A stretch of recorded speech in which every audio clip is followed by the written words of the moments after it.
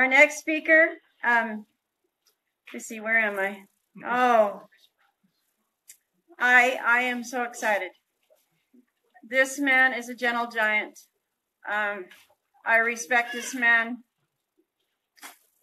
This man knows what courage is. And I am so honored to introduce the ex fire chief from Burns, Oregon, Chris Briels. On their feet again.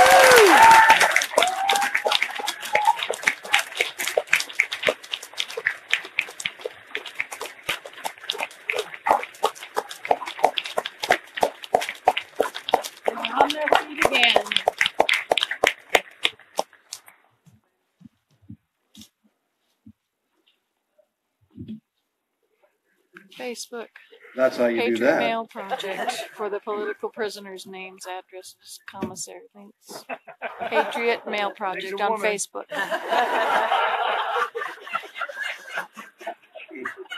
That was kind of fun, wasn't it?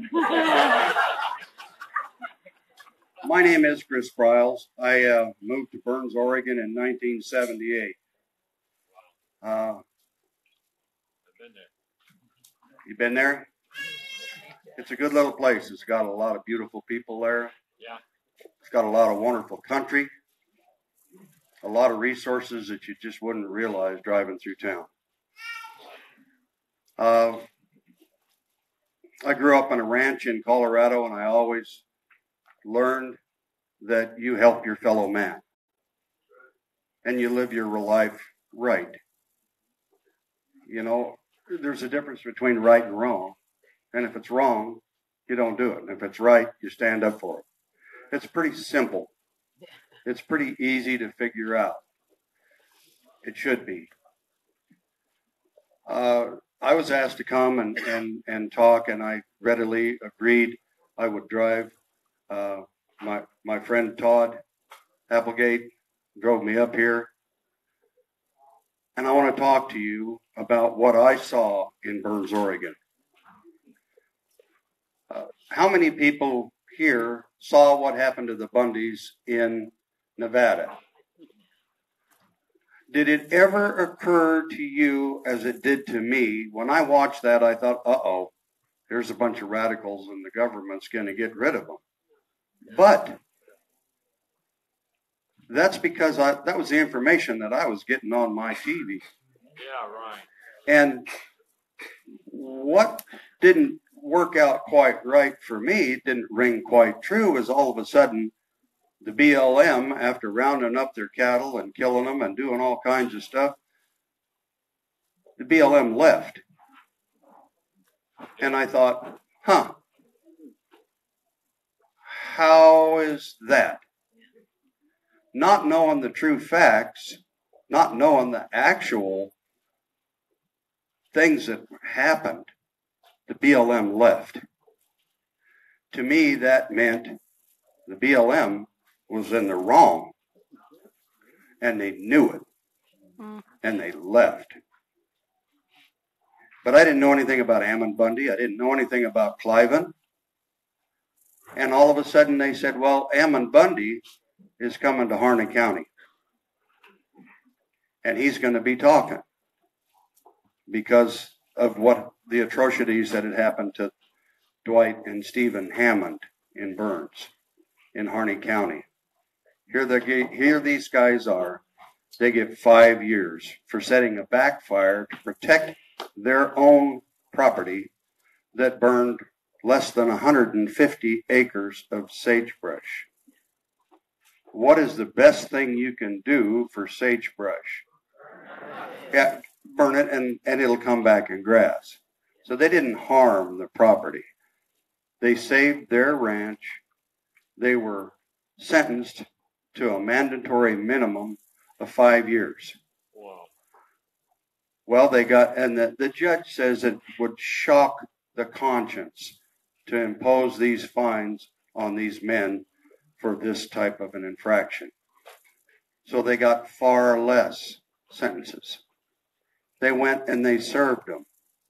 They got out of prison and they, and the government says, no, wait a minute. They forgot to, to serve the mandatory minimum. You have to go back. and they sent them back. Yeah.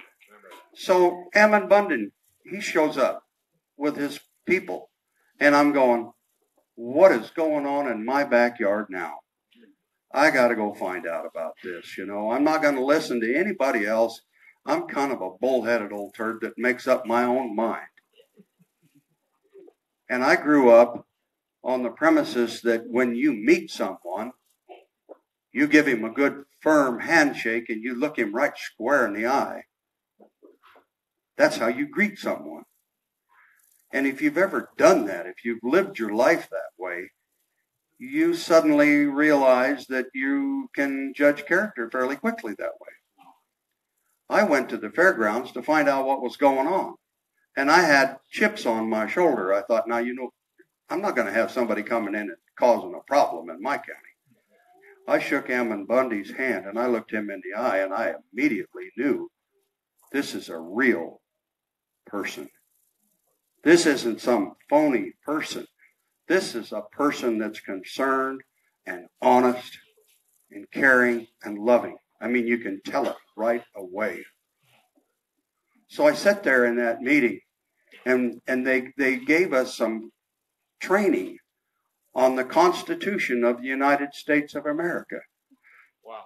Like what Ryan was talking about before. They gave us some training.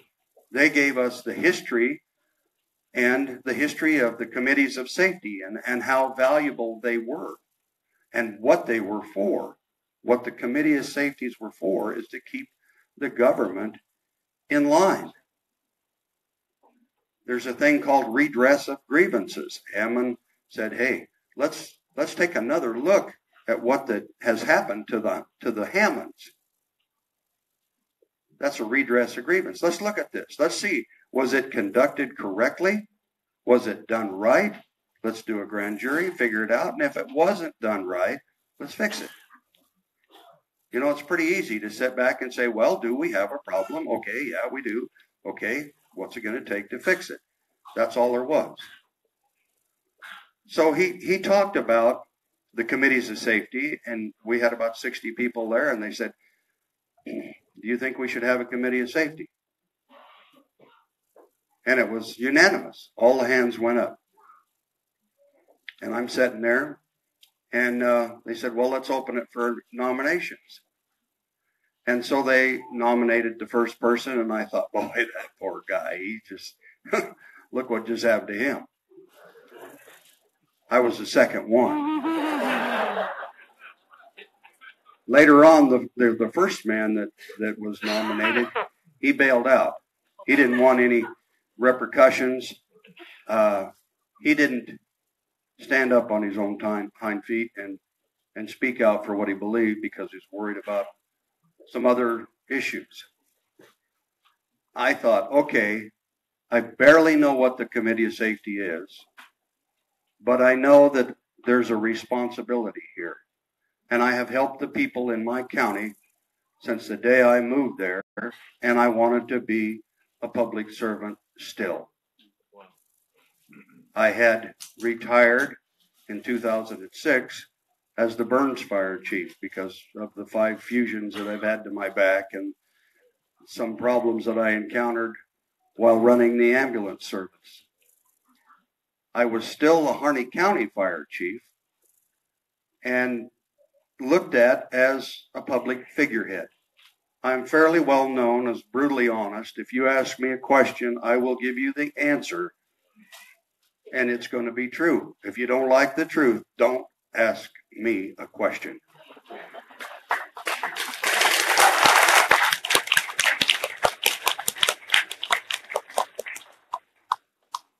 We had the committee of safety. We did a rally. We went up to the Hammonds. We sang songs to them. We gave them flowers. And we got back, and Ammon went out and took over the refuge. They say that it was an armed takeover, you know, and all of that. There was nobody at the refuge. They went out there, they had weapons. So it's the first, you know, it's part of your constitutional right. They didn't hurt anybody. They didn't threaten anybody. They didn't do anything other than go out and take over the refuge. And I didn't understand why. I didn't understand why did they do that. Because I didn't know. I just simply didn't know. I didn't understand what I do now. That's why I stand before you now is the more people that understand what's going on and what your rights are, the more important that is. So they take over the refuge and I and and immediately everybody in town says, "Oh my God, that committee of safety! They just, look what they just did." We didn't have any knowledge of it. We didn't know what was going on. So I I went out to the refuge, and what did I see when I got to the refuge? You've all seen the, the news media and the, the $9 million of damage that they did to the refuge and all of that. I went out there, yeah, an armed standoff. Okay, an armed standoff. They say there was an armed standoff in Harney County. And there was. There was an armed standoff at our courthouse and at our junior high. There was no armed standoff at the refuge. When I went out there, I told them who I was. There was a pickup parked across the way, but I talked to them and I said, hey, and they said, yeah, go on down. So I walked down. I didn't have somebody holding me on both arms or anything like that. I walked down there. And what did I see? I saw a great big blue dumpster there. And there were people hauling trash to that dumpster. That's what these horrible people were doing is cleaning up that cesspool that they had encountered. It hadn't been maintained. It hadn't been taken care of. There were dead rats in the in the shed, and, and just mess everywhere. They were cleaning it up. I saw a guy replacing a light. I saw people working as a team. And it's like, wow, that's cool. Somebody cares about this place. I visited it several times before, and I always thought, wow, can't somebody clean the flies out of the windows? Can't somebody sweep the floor? Now they claim that they did all this damage to the refuge. Well, I'm here to tell you they didn't do any damage to the refuge at all. All they did is enhanced it, made it better. when all of this happened, they put chain link fences around our courthouse and our sheriff's department and the junior high. Chain link fences and concrete barriers because of the danger. There were all kinds of rumors about these horrible patriots that were coming in and they're going to cause, start causing all kinds of trouble and the Patriots that showed up. You want to know what horrible things they did? We had a rip roaring snowstorm, and these nasty Patriots were out there shoveling out fire hydrants and handicap parking. That's what kind of horrible people they were. They were so horrible that they actually took coffee and sandwiches to the people that were guarding the courthouse and our airport with automatic weapons. That's what kind of bad people they were. Well, okay. They shut down the schools. They shut down the BLM. They shut down the Forest Service. they gave all the employees the gag order that you cannot go to any of these meetings. You can't talk about this. You can't do anything.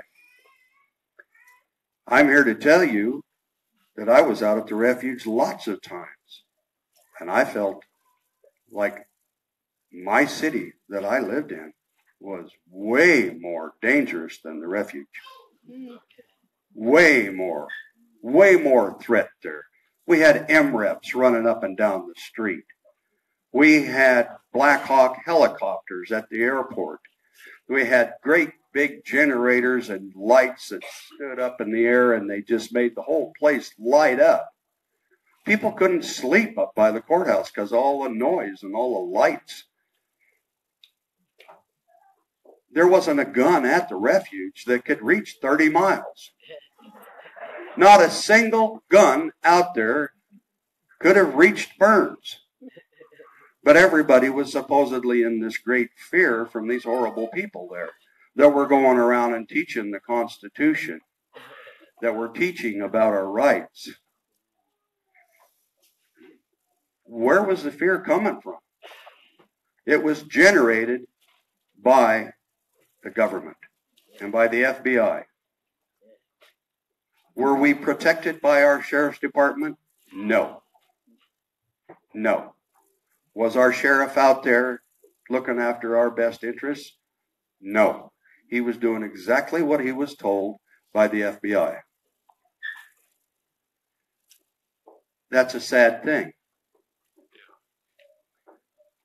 We had blacked out windows, black SUVs wandering around town, and everybody said, Well, that's the Patriots. You got to watch out. You know, they're creepy people. I went to a friend of mine's house and he told me, You've aligned yourself with the wrong people.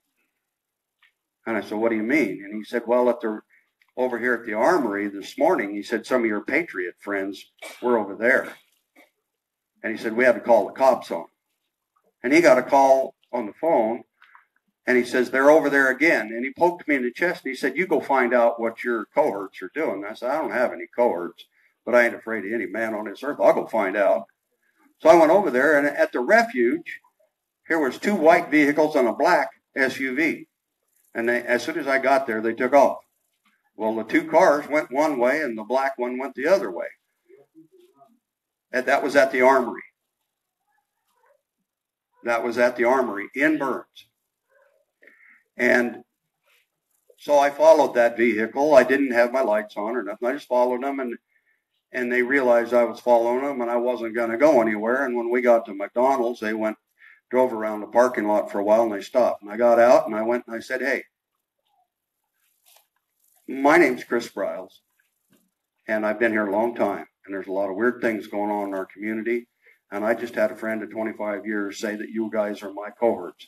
So I'd like to know who you are and, and, and what you're doing. And they said, well, we're just a couple of guys going through town looking for a place to start a new business. And I said, Well, typically we don't start a new business in our armory. and he said, Well, we weren't at the armory. And I said, Yeah, you were. I just followed you from there. And they said, Well, you have no right to follow us. And I said, Yeah, I do. Yeah, I do. And I said, I just want to alleviate the fears in our community you know, if you weren't doing anything, I just want to know the truth so that I can talk to my people. I don't like to see people be afraid. And they said, we're, we're just a couple of guys starting a business, like we said.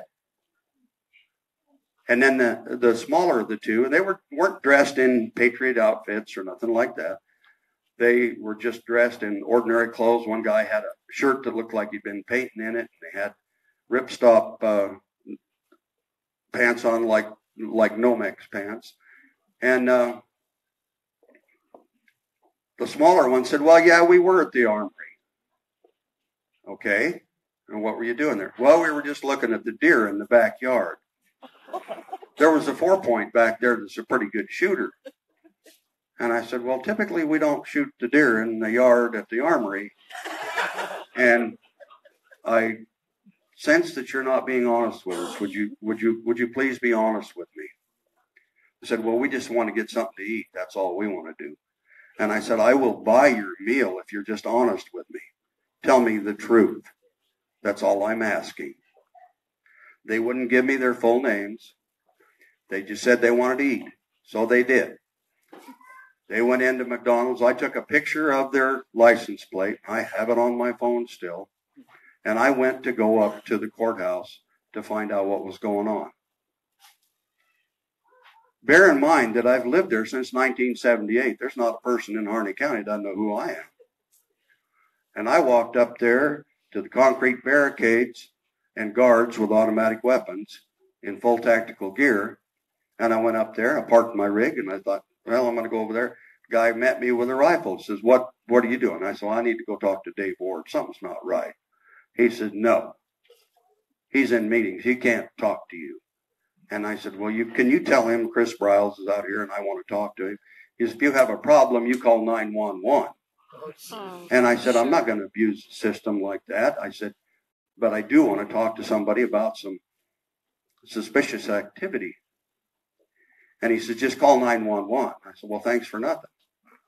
You know? And so I went back down to the armory and there were, uh, there was a sheriff's deputy and the Burns police chief there. And they said, what's going on? And I told them, I said, these guys were dishonest. They were lying to me. And I don't understand it. While I was talking to him, the sheriff's deputy got a phone call. And he says, Oh, okay. And I said, What's going on? He said, The two white vehicles are FBI vehicles. And the black SUV is a rental out of Washington State. And that's undercover FBI people. And that is to be kept a secret. Don't tell anyone. Does that sound right? You know, if you look at something, it's either right or wrong. That didn't feel right to me. So I was stewing about that. And our Harney County judge had his Harney County meeting at our high school. The bleachers were full of people. There were probably three times as many people that are here. He was out there strutting around on the on the basketball court, and he said, "Hey, uh, first the thing he got the microphone. He said, I want you to know that there's a Harney County Committee of Safety, and they're in no way, shape, or form affiliated with Harney County. Now they've got a website, and they've got our county logo on there without our permission." And he wants you to know to, to don't give any credibility to these people, you know. And this is in front of all these people. And so the microphone got there. My time's up, but I'm going to finish this a little bit. Uh,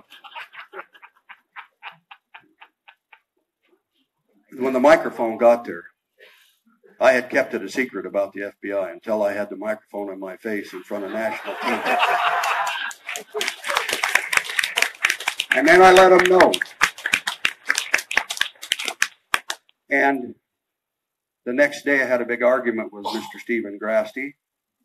And then I resigned as the fire chief because of the corruptness. And they tried to bait me into doing something wrong. And I will not work for dishonest government. Will not. What I want to close in, I received gobs and gobs and gobs of friend requests for Facebook. We have no we have no radio station, no TV station in in Burns. We do now, but it's not real well. Anyway, there were lots of people that said, "Hey, you are a hero. You are an American hero," and that, yeah, but listen, it broke my heart to be considered a hero. I have two arms. I have two legs. Why should you be considered a hero? Because you stand up and speak the truth. This is the United States of America. This is where we should all be able to stand up and speak the truth.